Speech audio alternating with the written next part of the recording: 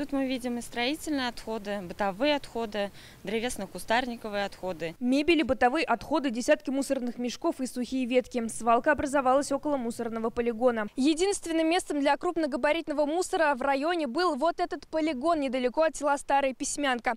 Но вот уже два года он не функционирует, и поэтому жители Лениногорска и близлежащих сельских поселений вынуждены оставлять строительный крупногабаритный мусор здесь.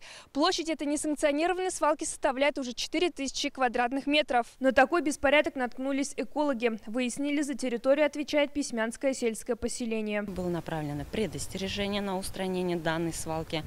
Однако в срок э, требований экологов, экологов не было выполнено. Далее направлена была претензия, на что свалка тоже не была ликвидирована подготовили и направили исковое заявление в Лениногорский городской суд. Мы обратились к руководителю Письмянского сельского поселения. После предостережения экологов он обратился в районный исполком. Я, конечно, все э, написал письмо на имя главы этот, э, Лениногорского района, э, исполнительный комитет, то, чтобы выделили денежные средства на устранение этой свалки. Состоялись торги, которые будут это дело производить. Вот. Это будет эко-лига а не то, что будет, она уже начала работу. Нам рассказали, Эколига приступила к работе в начале июля. Однако с последнего визита экологов свалка только увеличилась. В исполкоме, говорят, лениногорцы все еще продолжают возить сюда мусор. Мы пообщались с жителями ближайшего поселка. Они уверяют, собирают мусор в контейнеры. Но регоператор не занимается крупногабаритными отходами. От безысходности люди их везут на стихийную свалку. Здесь же закрыто, в Бугуме закрыта свалка. Здесь тоже у нас закрыто. Но мне вон контейнеры. А большой вот мусор строительный там куда выгружаете? Строительный. Это смехоуборки раньше. Или трактор приезжал. Это, это габаритный, это. А сейчас вон там навозили, а эти не берут. Ну и крупный сюда же выносят. А куда его денешь?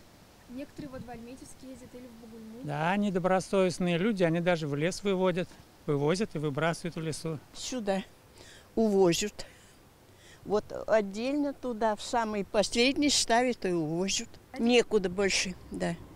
Всегда вот именно туда. В этом году подрядчики очистят только половину свалки. Договор с ними заключили на два года. Около двух тысяч тонн мусора вывезут в следующем году. К сожалению, жители нашего города и района, э, скажем так, многие предприятия вынуждены возить мусор на данную территорию.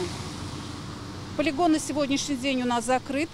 Э, насколько я владею ситуацией, значит, на сегодняшний день лицензия по оказанию услуг э, сбору и хранению мусора получена.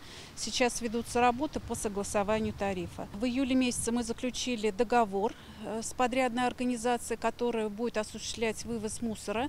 На этот год сумма у нас 2,5 миллиона и порядка 1810 тонн мусора нужно будет вывести. Но это не решит главной проблемы. Полигоны в двух больших городах Юго-Востока переполнены. Ближайшие ближайший только в Альметьевске, до которого час езды. И вывозить мусор нужно самим и за свой счет. Это значит, количество стихийных свалок будет только увеличиваться. Адель Закирова и Рахабибулин, ТНВ, Лениногорский район.